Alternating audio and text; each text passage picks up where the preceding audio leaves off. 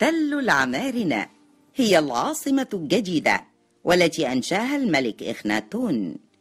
وهي تقع على بعد 45 كيلومترا جنوب مقابر بني حسن بمحافظة المنيا.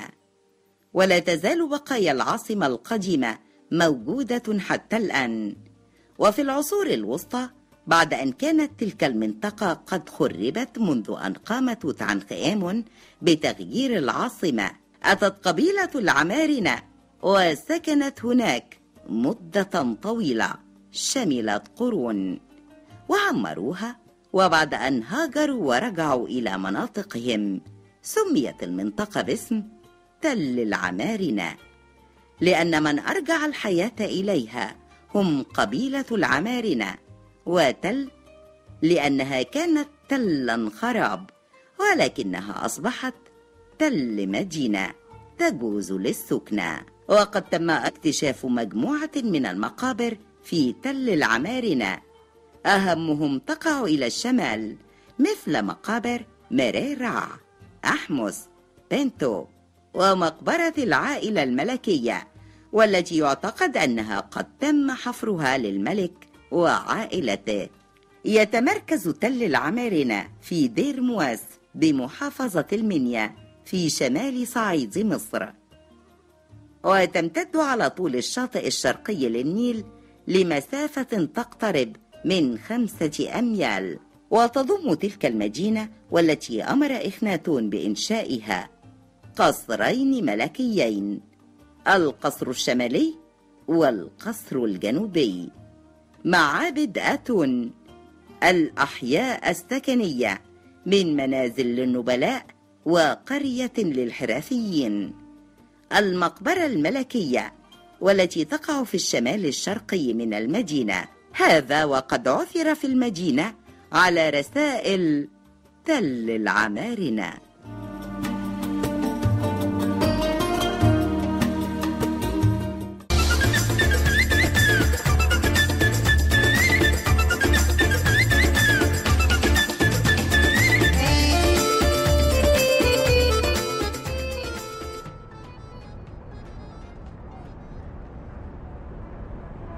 برحب بحضراتكم من جديد وزي ما سمعنا التقرير إنه تل العمارنة من الأماكن السياحية اللي يمكن فيها العديد من الآثار. لكن بنتكلم على كمان إنه اعرف وطنك هذه الأماكن إمتى إحنا كمصريين هنروح نزورها لأنه بالتأكيد كل اللي بيزور مكان بيبقى خير سفير لهذا المكان بيتكلم عليه بشكل أو بآخر. الموضوع بينتشر بين الناس بنعرف قيمتنا التاريخية والسياحية. ضيفي وضيف حضراتكم في الفقرة دي أستاذ دكتور عبد الحليم نور الدين الأمين العام الأسبق للمجلس الأعلى للآثار. بصبح على حضرتك واهلا بيك يا دكتور. أهلا بيك. يعني بنسعد دايما بوجودك معانا يخليك. دكتور عبد شكرا الحليم جزيلا. شكرا. لو هنتكلم على تل العمارنه هنقول إيه؟ هي تل عمارنا معلم آه، عالمي عالمي. إقليمي ومحلي. آه، لابد أن يوضع في دائرة الضوء ولابد أن يقدر كما يجب أن يكون لأنه تل العمارنه تركت بصمة في التاريخ العالمي وفي التاريخ المصري من حيث أنها المكان الذي ازدهرت فيه أول دعوة للوحدانية في مصر القديمة اللي هي عبادة الإله الواحد. آه، أحب بس أقول إنه للأسف الشديد آثارنا في مصر بنقدر نصنفها إلى نوعين آه، آثار في دائرة الضوء اللي هي عليها. الضوء الإعلامي وعليها الضوء السياحي زي الأقصر وأسوان وسقارة والجيزة ودهشور إلى آخره والإسكندرية. لكن هناك يعني بلا مبالغة بضع آلاف من الآثار المنسية وأنا كتبت عنها من عشر سنين سلسلة لمدة ثلاث سنوات من المقالات إزاي مصر تملك هذه المواقع الأثرية المهمة جدا. ولا نستطيع. نيجي بقى لتل العمارنة يعني. هي كلمة تل العمارنة تل هي الكلمة العربية. تل تعني كوم إشارة إلى أي موقع أثري. والعمارنة قبيلة اسمها بني عمران. سميت بقبيلة العمارنة أو بني عمران أو إلى آخره. آه هذه المدينة سميت في النصوص المصرية القديمة آخت أتون. أي أفق أتون. الملك نفسه بيحمل اسم آخ نعم. إن أتون. يعني المخلص للإله أتون. نعم. إنما المدينة أفق آتون. هذه المدينة كانت أرضا بكرا اختارها كموقع متميز رجال إخناتون لكي ينتقل من طيبة. الدعوة بدأت دعوة الوحدانية بدأت في الأقصر. اللي هي كانت تسمى طيبة. وبدأ كهنة آمون اللي هو الإله المهيمن على الإمبراطورية. مصر بتؤمن بتعددية الآلهة. نعم. مئات بل آلاف الآلهة. فلأنه هربا من اضطهاد كهنة آمون ومطاردتهم ليه والقضاء على الدعوة الجديدة اللي هي دعوة راقية جدا خصوصا عندما نقرأ نشيد إخناتون وهو آه، يحاول أن يناجي. آه، ربه من وجهة نظري الإله آتون نعم بيقول له يا من عندما تشرق تبعث الحياة إلى كل الدنيا وعندما تغرب تموت الحياة يا من تنبت البذرة في الأرض يا من تنبت أيضا الجنين في بطن أمي لا يمكن أن تكون هذه لغة رجل عادي. إنما هي لغة واحد مفكر ديني آه، ناسك متعبد والهان بعبادته الجديدة نرجع لتل عمرنا هي زي ما التقرير ذكر هي مركز دير مواس وده من المراكز الشهيرة في المنيا نعم. محافظة المنيا وكان يمكن أن تكون من أهم المواقع الأثرية لأنها بتقع على نهر النيل ولو أننا تمكنا إن شاء الله قريبا من أن نبدأ الرحلات النيلية اللي النايل كروزز كما نعم. يسمونها. تبدأ من القاهرة وتستمر إلى أن تصل إلى أسوان لابد من التوقف عند تل عمرة م. إذا من هذا المكان ازدهرت هذه العقيدة الجديدة في أرض بكر بعدا عن مدينة طيبة أنشئت القصور وأنشئت مساكن كبار رجال الدولة وحفرت المقابر في الصخر بالإضافة إلى مقبرة الأسر الملك. إحنا نقدر نعمل آه، حاجات كتير جدا بالنسبة لهذه المدينة. تعالوا بقى يا مصريين يا عرب يا سائحين أجانب لكي تروا المكان الذي نشأت فيه فكرة الوحدانية. مم. نحن لا نتحدث عن نبي وإنما نتحدث عن رجل مفكر ومفكر ديني صاحب رؤية نحترمها آه، جميعا. فنيجي نشوف إخناتون ماذا فعل لكي يبرز هذه الدعوة. هو أراد أن يعبر عن, عن أنه هو الممثل الشخصي لهذا الإله. آه، الإله اسمه أتون وأتون يعني قرص الشمس الشمس نعم. المتوهجة التي نراها الآن. أتون يعني قرص الشمس. فالراجل مثل نفسه على صورة تصور الناس أنها تشويه لإخناتون هي مش تشويه. آه، ال- ال- البطن ممتلئة والرقبة طويلة والرأس ممتدة إلى الخلف وملامح بدت لبعض الذين لا يعرفون أنها تشويه لهذا الرجل لا. هو أراد أن يقول أن أخناتون أن أتون هو الذي خلق نفسه بنفسه. بالهيروغليف اسمها إيرسو.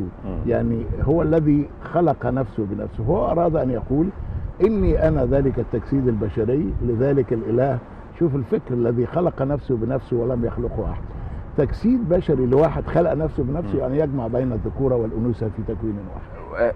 والمراحل الأولى للاعتراف بوحدانية الإله الواحد. مش كده؟ أيوة. طيب يعني الحقيقة أنا مش عايز أستوقفك دكتور عبد الحليم لأنه اتفضل.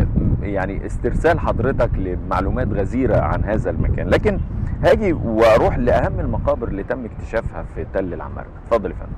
هي سلسلة طويلة آه. جزء منها بنسميه السلسلة الشمالية بتقع في منطقة تل العمارة وجزء آه، اللي هو الجزء الأقل منقور في الصخر آه. ليست مقابر مبنية آه ولا مشيدة ولا شيء من هذا القبيل إنما منقور في الجبل حفاظا على الأجساد لكي تبقى إلى الأبد ثم في منطقة اسمها الحاج أنديل جنوبها مجموعة من المقابر والسؤال ده مهم جدا ليه؟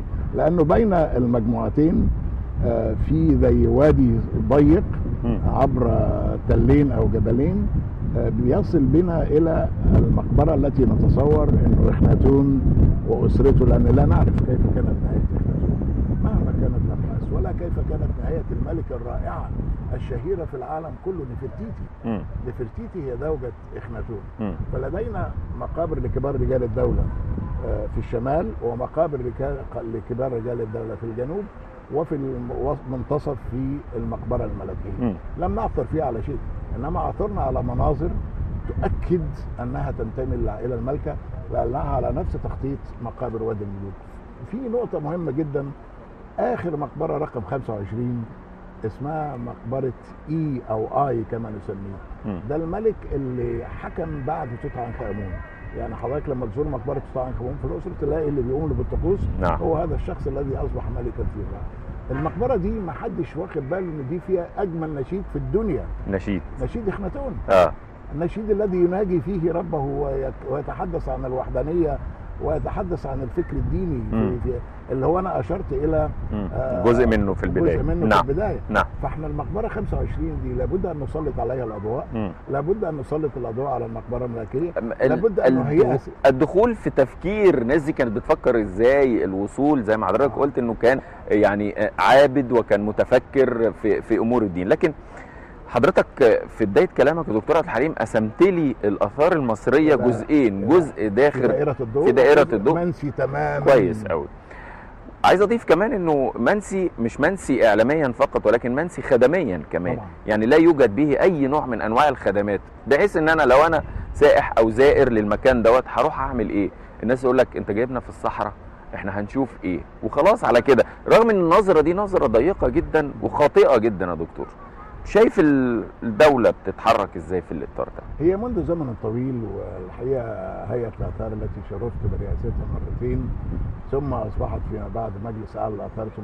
بتحاول أن تهيئ سياحيه مم. وخصوصا أردت للسياحة أن تزدهر لابد أن تكون البيئة المحيطة مستفيده من السياحة. صحيح. فكان في مراكب وكان في زيارات سياحية تيجي على الطريق البري تعبر تعبر إلى الجانب الآخر عشان تزور المنطقة. نحن بحاجة إلى آه، مواصلات أفضل نقل أفضل في. الآن طريق بري. لكن لابد أن آه، يستغرق وقتا طويلا لكي تصل إليه. أنا عاوز أهيئ ال- القضية مش إن أنا عندي هرم. القضية هل هيأت الهرم للزيارات السياحية؟ صحيح. هل أيضا ابديت اهتماما بالمعني بأمر الهرم؟ سواء كان حارس ولا مهندس ولا أثري. يعني هي القضية متكاملة. أنت. تهتم بالأثر والإنسان المسؤول عن. الأثر. تهتم بالأثر وبالسياحة. هل هناك تنسيق كامل؟ كم منا في بيعمل في مجال السياحة أو حتى في مجال الثقافة العامة يعرف المكان اللي حضرتك بدأت بيه ده مكان رائع جدا مين اللي لو سالت واحد طلع مرنة مش هيعرف. مش هيعرف لن يعرف. إنه دي المدينة اللي هزت ده قيل أن المزمور 100 104 من مزامير النبي داوود نعم والد سيدنا سليمان عليه السلام مم. تأثر بنشيد إخناتون آه يعني إحنا أصحاب فكر ديني. انتشر في كل العالم. بل انتشر في الديانات السماوية بشكل أو بآخر وحتى لو قارنا آه، بعض مبادئ وأخلاقيات ومثل آه، دين الاديان المصريين القدماء هنجدها موجودة في كتبنا السماوية في المسيح في اليهودية في نعم. المسيحية في الإسلام فنحن بحاجة إلى تهيئة سياحية نحن بحاجة إلى تهيئة أثرية نحن بحاجة إلى ترميم مستمر نحن بحاجة إلى مراكز ثقافية لتلقي الضوء على ما هي تل العمرنه مم. ومن هو هذا الملك الذي هد الدنيا بأكملها؟ مم. اللي هو الملك آه، إخناتون. ومن هي الملكة اللي لو حضرتك زرت متحف الشتاتلس ميوزيوم في برلين اللي هي كانت الجزء الغربي من برلين اللي الدنيا بتلف حواليها كده اللي هي نفرتيتي. مم. نفرتيتي يعني الجميلة قادمه نعم. ده معناه. لما تشوف حضرتك هذا المت... هذا المتحف وهذا التمثال بيلفوا بالراحة وبهدوء دون أن تسمع صوتا وكأنهم آه، يطوفون بالكعبة مم. لو بهدوء وتركيز في التفاصيل في ال... ولا يمكن لأحد يدوب يتنفس آه يعني أنا حبيت أمر ب...